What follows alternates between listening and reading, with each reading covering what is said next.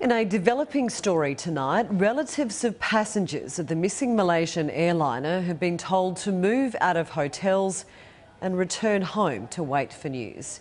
Since flight MH370 disappeared, the company has been paying for families' accommodation.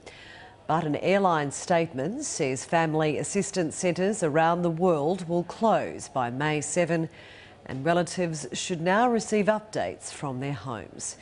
Malaysia Airlines does plan to set up hubs in Kuala Lumpur and Beijing.